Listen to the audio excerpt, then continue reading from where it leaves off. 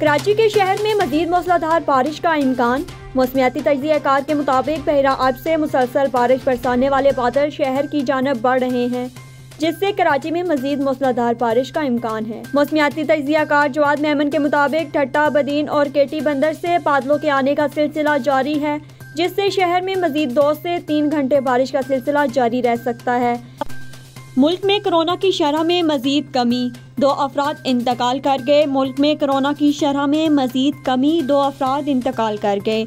इसके अलावा corona virus में मुबतला 140 मरीजों की हालत अभी भी तशवीशनाक बताई जा रही है, जबकि कोरोना से मजीद दो अफराद इंतकाल कर गए।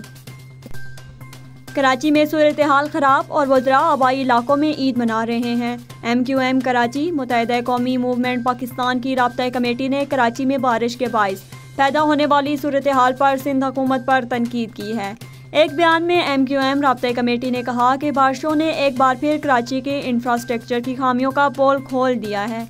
शहर का सेवरेज सिस्टम बैठ गया और सड़कें तालाब का मंजर पेश कर रही हैं। रबता कमेटी ने कहा कि सिंध हुकूमत की नाअहली का खमियाजा शहरी भुगत रहे हैं। सिंध हुकूमत के वजरा और अफसरान आबाई इलाकों में ईद मनाएँगे। नाइजीरिया में दहशत गर्दों के हाथों मुगवी पाकिस्तानी डॉक्टर को रिहाई मिल गई। दफ्तर खारजा की जानब से जारी करदा बयान में बताया गया है कि नाइजीरिया में अगवाकारों के हाथों मुगवी बनाए गए पाकिस्तानी शहरी डॉक्टर। अबूजर मोहम्मद अफजल को नाइजीरिया में अगवाकारों से रिहाई मिल गई है।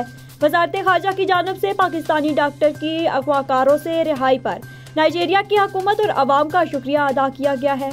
वजारत खारजा ने कहा कि डॉक्टर अबूजर की रिहाई मुमकिन बनाने पर नाइजीरिया की हुकूमत और आवाम का शुक्रगुजार हैं। कराची में बारिश के बायस मुतद सड़कें ट्रैफ़िक के लिए मुकम्मल बंद। कराची में बारिश के बायस, शहर की मुख्तलिफ़ सड़कें ट्रैफ़िक के लिए मुकम्मल बंद हो गईं।